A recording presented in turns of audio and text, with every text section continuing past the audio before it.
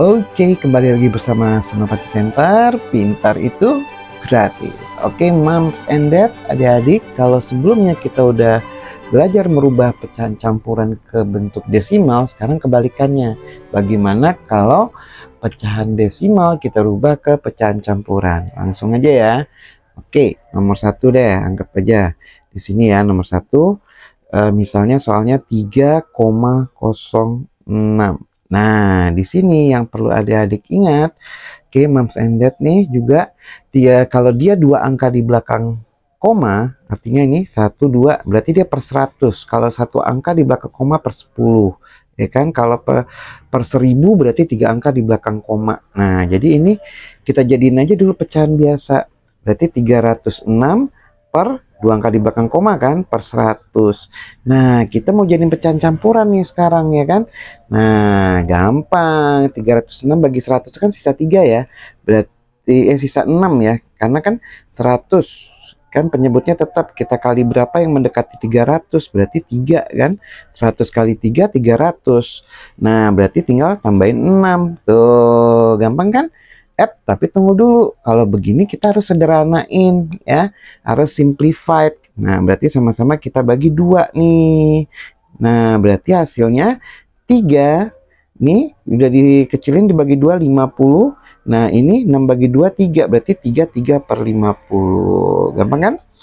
Oke soal yang berikutnya ya. Contohnya misalnya aku ke Andi ambil yang lain lah. Misalnya ya nomor 2 2,30. Nah, di sini yang ada adik mesti lihat kalau 0 di belakang ini bukan di tengahnya ya, 2,30 0 paling ujung tuh bisa kita hilangkan.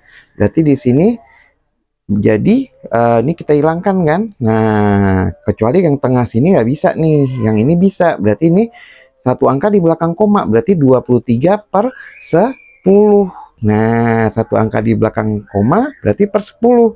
Nah, berarti gampang dong kita jadiin ya pecahan campuran penyebutnya tetap 10 kali berapa yang mendekati 23 berarti 10 kali 2 dong.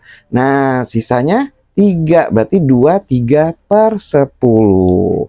Ih, kampil banget. Lanjut aja langsung nomor 3 deh. Soal yang lain ya.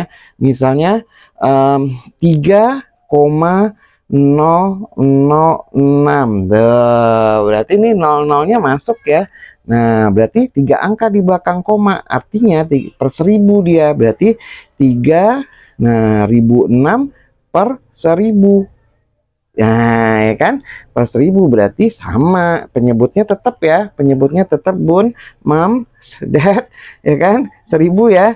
Nah, ini 1000 kali berapa yang mendekati 3006 adik-adik? Berarti kali 3 Gak, sisanya berapa? 6.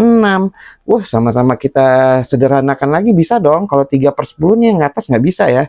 Ini bisa nih, sama-sama bagi 2. Berarti uh, sama dengan 3, 6 bagi 2, 3, 3, 3 per 500. Gitu.